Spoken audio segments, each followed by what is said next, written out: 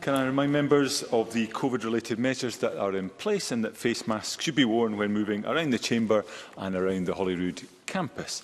The final item of business is a members' business debate on motion 1536 in the name of Alexander Stewart on a 100 years of uh, the poppy in the UK. The debate will be concluded without any questions being put and I call on Mr Stewart uh, to speak to the motion for around seven minutes. Thank you, Deputy Presiding Officer. I'm delighted to have the opportunity of being able to open this highly poignant members' business debate this evening. During the last session of Parliament, I was extremely privileged to have been able to mark two significant military centenaries in the Chamber. But the opportunity of making such an anniversary of the most all-encompassing symbol of remembrance for all those who served and are still serving in Her Majesty's Armed Forces throughout the United Kingdom and Commonwealth, as well as their families, is a special moment for me. And I'd like to thank my fellow MSPs who supported my members' motion in allowing me to have this privilege this evening. Deputy Presiding Officer, the history of the poppy as a symbol of remembrance may not be as clear-cut as has been previously assumed. The first reference to the poppy has been traced back to the Napoleonic Wars – Several documents have been unearthed which note that the following of the Napoleonic Wars, poppies became abundant on the battlefields where soldiers had fallen. The same source also drew from the first comparison between blood-stained individuals and the red colour of the poppy. As many of us know, the scarlet corn poppy's growth is aided by massive disruption to soil. Thus, the devastation of the natural environment caused by such conflicts saw fields littered with bodies alongside red poppies. Fast forward to modern times, whilst poppies remain popular in the United Kingdom and the Commonwealth, countries across uh, other nations have become involved. And actually, it may have been an American, Monia Mitchell, who was first credited with the first charitable poppy sale. She worked for the YMCA Overseas War Secretary's office in New York, and she was so stirred by the perhaps the most famous war poem of all time in Flanders Fields by Lieutenant Colonel John McCrae that she vowed to pin a poppy to her lapel and swore to always wear one to honour the war dead. Using money she had earned from the YMCA, she purchased 25 silk poppies and distributed them amongst her colleagues. She continued her endeavours to ensure that the poppy was adopted as a national remembrance and the National American League uh, eventually adopted the poppy as an official symbol of remembrance two years later. The popularity of the new custom grew exponentially and the tradition crossed the Atlantic. And a lady named as Madame E. Guerin uh, had travelled from France to attend the conference at the American League. And she was so involved that she saw the puppies as a great way to raise money for those children who had suffered uh, of the Great War in France. So she was quick to organise a team of French widows who immediately began making paper poppies on an industrial scale, uh, and, they, and they made 1 million uh, by 1921.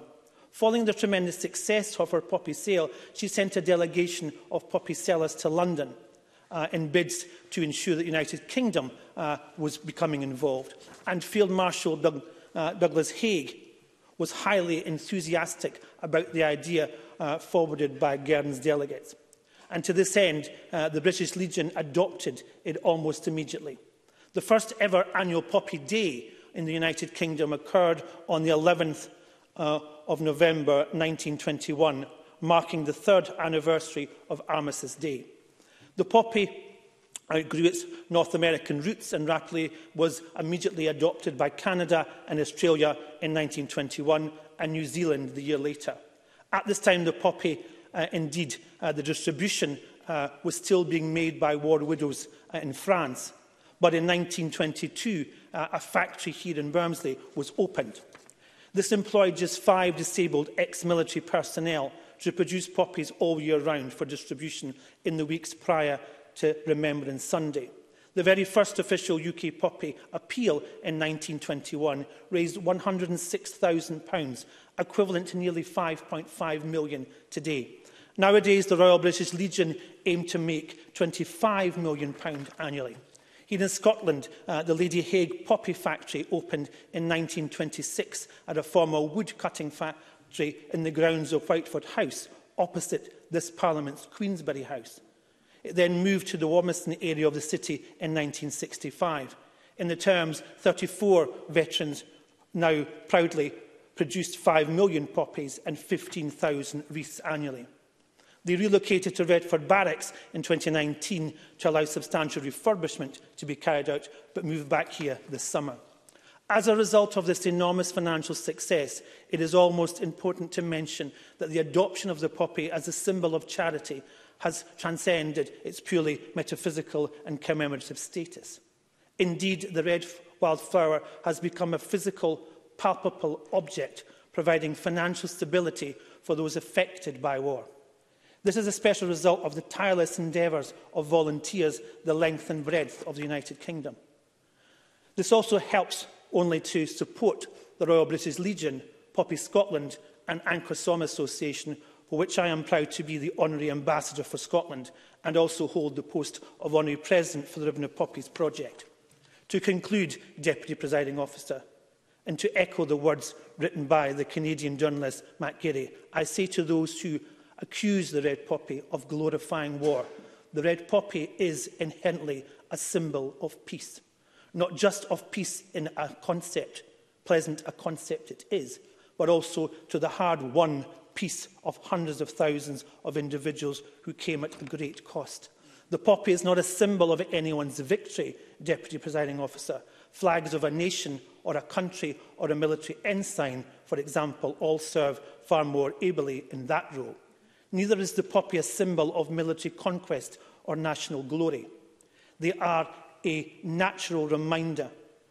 of all the ravages of war and conflict to deal with. To this end, none of us need to be reminded as to why the red poppy was chosen as a symbol of remembrance. In Flanders Fields, all of this is very poignant. And because of that, Deputy Presiding Officer, we must always remember,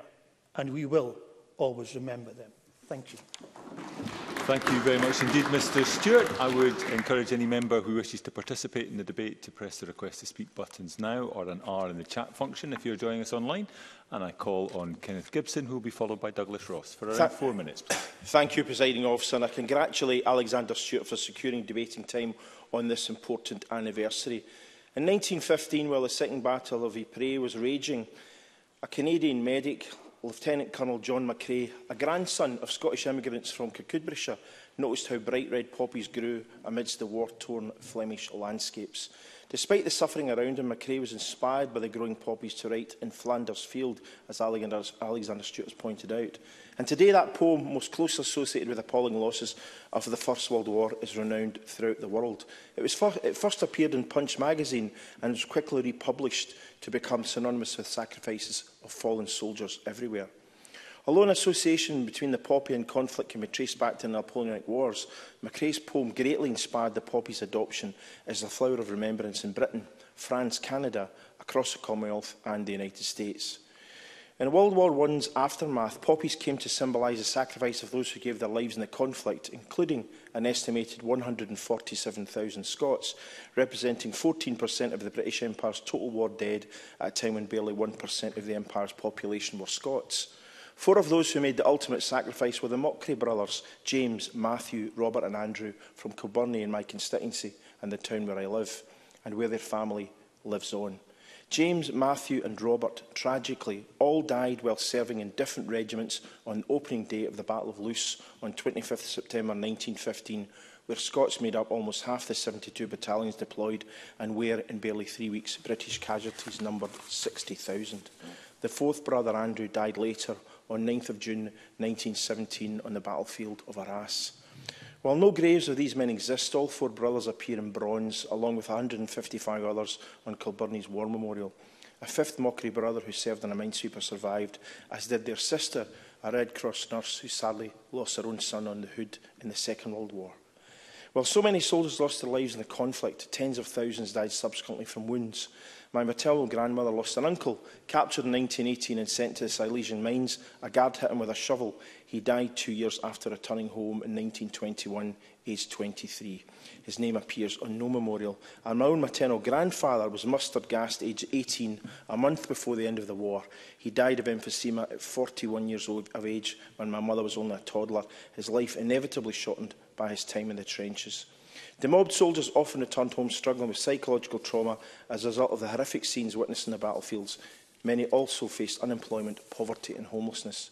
Red silk poppies were first worn 100 years ago not only to keep the memory alive of those servicemen and women who died, their production offered employment to men disabled during World War I, while proceeds were used to help other veterans with employment and housing.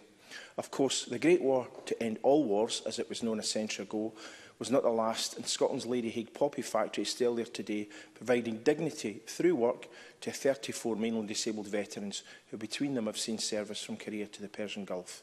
Money raised provides invaluable assistance to Scotland's armed forces community, ranging from local signposting, housing, mental health, mobility, employment and financial support.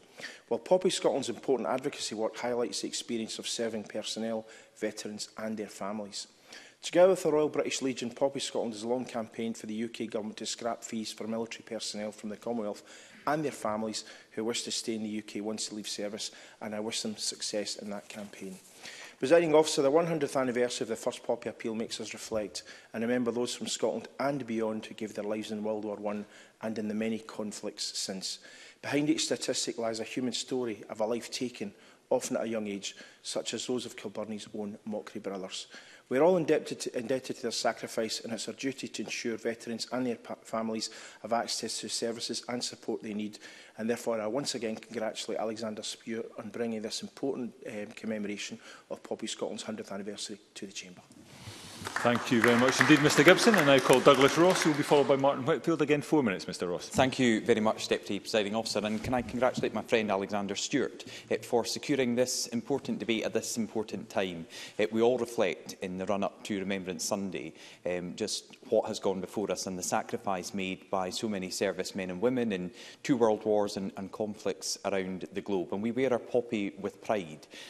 Uh, and I say that as someone who represents the Highlands and Islands region, which has many strong military links, including my own area uh, of Murray. We are home to RAF Lossiemouth and Kinloss Barracks. And in communities like Murray and communities across Scotland, we can see uh, the support for our military personnel, both current and the active role they play, but the many veterans who are amongst amongst us in our communities that we all represent. Uh, earlier today, I was at the Lothian Veteran Centre uh, in Dalkeith to see the outstanding work Ian Stewart and his team uh, do there. They've got a, a drop-in centre in the, the High Street that I know is extremely busy, uh, and I went along to, to one of their events earlier on today as well. And it really is encouraging to see the support that is available to our veterans, but there is more uh, that we can do.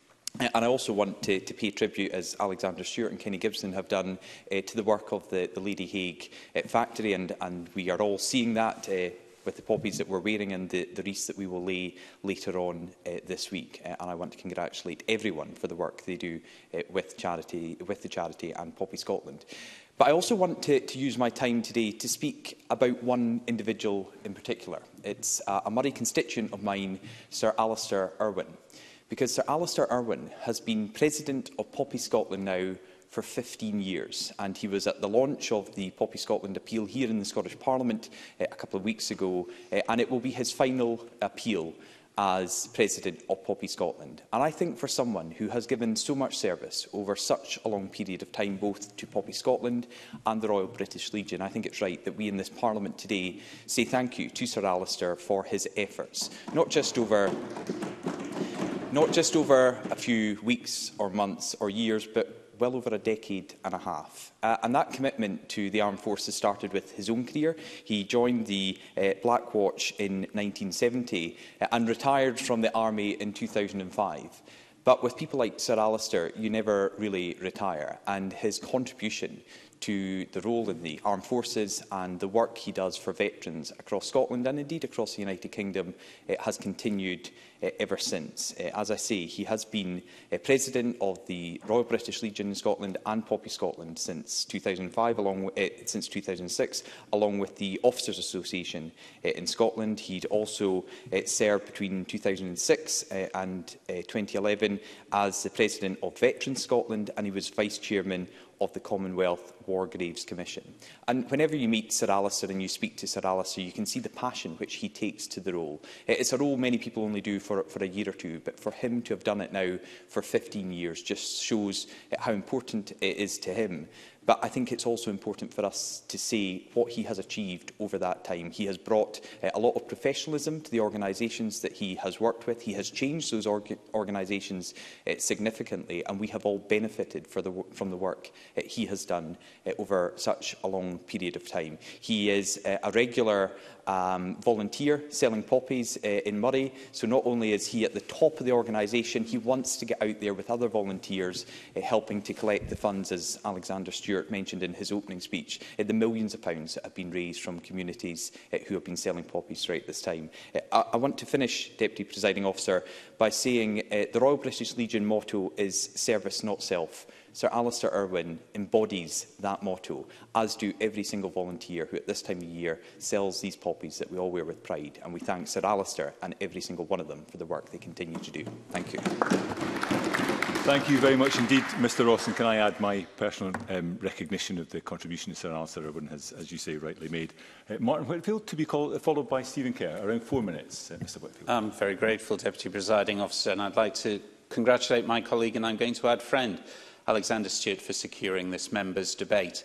And I do think it's fitting that it is indeed a members' debate, and I'll come back to that. And I would also like to echo the words of Douglas Ross and extend my thanks, congratulations and possibly well-deserved rest to Sir Alistair coming forward. And also to the thanks, obviously, to the Lady, Lady Hague Poppy Factory and to the 34 veterans that it helps and the many, many veterans it's helped over time. And I would like to take this short time just to put onto the record the various poppy designs of the countries that have been referred to and why the poppy is so important to those countries. From here in Scotland, where we have four petals with the central black, We used to have a leaf, but it was removed to make it easier to post. To England and Wales and Northern Ireland, where they adopt the two-petal with the black centre and some a leaf, often said to reflect the addition of the events of World War II. But to the USA, where they wear their poppy on Memorial Day, the last Monday in May. Theirs is a crepe paper style, but has a green centre. To Australia, who celebrate or remember on Anzac Day, April the 25th, where they have a single red corrugated petal, and to New Zealand, which is a very similar design to Australia, but they choose to lose the corrugation and have it flat. Why do I raise this? I raise this because at the heart, the poppy reflects the thoughts of individuals. It reflects differences, but it also reminds people of a similarity, a tragic loss, a memory of generations, a memory of individuals who have paid the ultimate sacrifice, or indeed, as Kenneth Gibson so rightly says, those who have returned bearing scars, some of which are invisible. And I think one of the powerful images about the poppy is that it may look different to different people around the world, but what is felt inside is the same. And that is a thanks, that is a gift that others they may not even know have given. And I think to have the opportunity in this chamber to extend our thanks to those people, to extend our thanks to the volunteers who stand in the rain selling the poppies. My son, who visited the cinema at the weekend, said he and his friend rushed around trying to find a sea cadet who could sell them a poppy because they were on their lunch. But a sea cadet did stand up, put his burger to one side, and offered them a poppy to wear. And I think those individual acts of young people speak of such great hope going forward from such a tragedy that is moving further and further into the past. And I would just like to say, and this is really in response to the young people, the opportunities that Poppy Scotland give to the variety of fundraising methods so that everyone can take part. They can challenge themselves. I think of the Poppy Scotland Sportive, which happens in September, an ability to ride your bike of one of three distances around the beauty of East Lothian, ending up in my hometown of Preston Pans. Or if you're feeling very brave, you can take on 102 miles that takes you down into the borders and back. I am utterly astounded at the ability of cyclists to do that. But I am enormously proud that they do that to raise money for our veterans, to raise money for the families of our veterans. And through Poppy Scotland, um, we see that work day in, day out. And for that, I say to them, thank you. Thank you very much indeed, Mr Whitfield. And our final speaker in the open debate, Stephen Kerr. Again, four minutes, please, Mr uh, Kerr. Thank you, Presiding, uh, Deputy Presiding Officer. And it's a pleasure and privilege to follow Martin Whitfield, who gave an excellent speech. And I want to congratulate my friend and colleague Alexander Stewart on securing this debate. For 100 years, the poppy has been our nation's symbol of gratitude and remembrance for our veterans and of those for whom it is rightly said, for your tomorrow we gave our today. As we all know, the poppy is also a symbol of hope and life and freedom from the horrors and destruction of the First World War, the war to end all wars. It wasn't to be. The First World War cost the lives of over 800,000 British and Commonwealth servicemen, men and boys from these islands and from far-flung parts of the then empire. Like many of you, I have stood at the Menin Gate at Ypres and at Tietval Memorial and read the names of the thousands of men and boys, sons, brothers, boyfriends, fiancés, husbands all of them missing with no known burial place. It is humbling, it is moving, it is upsetting. My family, like many of yours, has graves in Flanders and France where lie my great uncles. There's something powerful and poignant about the rows of headstones in those immaculate war cemeteries. In 1922, King George V visited Tynecott and looked out over the rows of thousands of wooden crosses planted in memory of the fallen. He said, I have many times asked myself whether there can be more potent advocates of peace upon earth through the years to come than this mass multitude of silent witnesses to the desolation of war. After the fighting ended, the poppy grew in the churned-up barren battlegrounds. With its blood-red colour, the poppy quickly came to represent the immeasurable sacrifice of a generation and was formally adopted, as has been said, by the Royal British Legion in 1921 as a symbol of remembrance for all those who died in the First World War and later conflicts. I also believe there's another layer to the symbolism of the poppy. After such horror, after such a grand scale of death, life reemerges. That the sacrifice of the fallen and the loss and pain of their families should not be in vain. Therefore, Deputy Presiding Officer, may I humbly, on the record of our Parliament, express my personal gratitude and the feelings, I'm sure, of so many more people in central Scotland for the work of Poppy Scotland, those who make the annual Scottish Poppy Appeal possible, the service of the veterans at Lady Hague's poppy factory, making millions of poppies and thousands of wreaths, and many hundreds of volunteers over the generation since 1921 to the present day, who sell poppies, make collections, and to the many businesses, organisations and individuals who see that each year the poppy continues to be prominently displayed. And may I say to our veterans and their families, and to those who continue to serve our country in the uniform of Her Majesty's Armed Forces at risk of life and limb, Thank you for your vigilance and your service because of what you do for us day in, day out. Every single day, we are free. We need to remember. We need to remember 100 years of the poppy and 100 years of caring. And it must be, it must never, it can never end. Because remembrance and the poppy is a mark of who we are and the people we have become. Thank you. Thank you very much indeed, Mr Kerr. I now call on Keith Brown to respond to the debate. Uh, Cabinet Secretary, around seven minutes, please.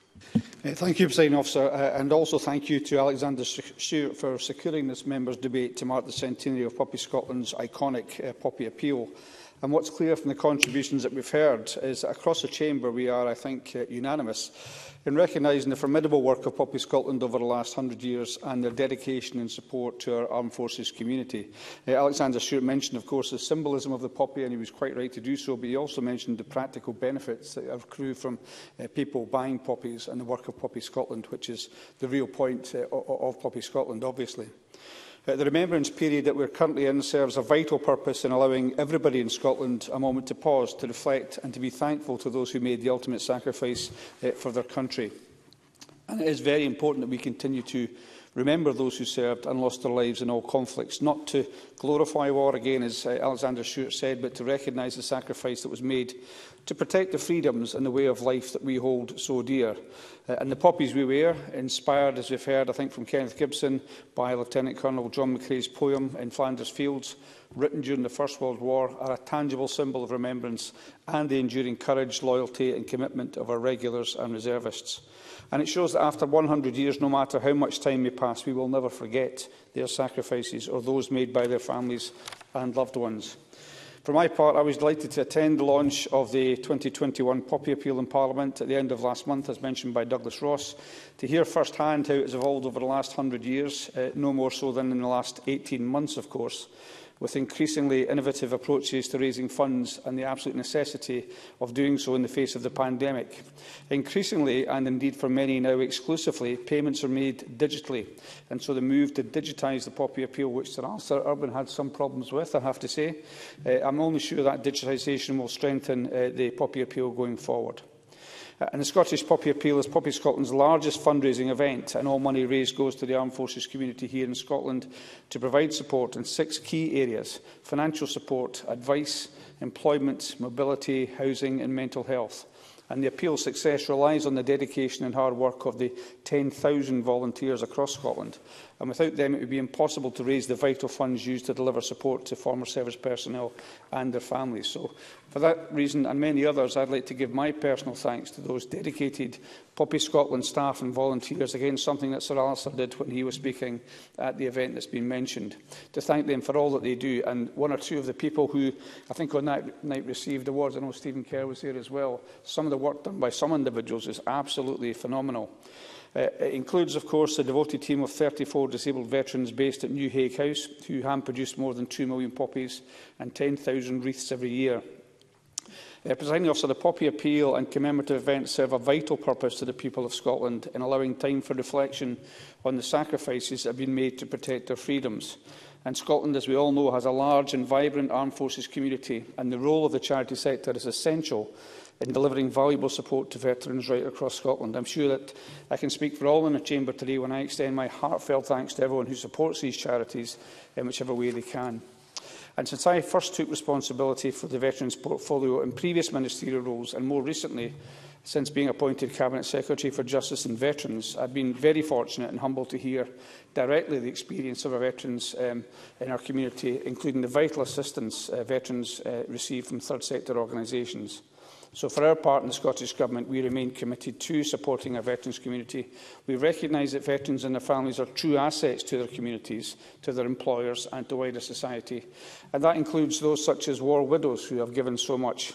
And I'm honoured to be representing the Scottish Government at the War Widows Association Annual Service of Remembrance at the Cenotaph in London this weekend.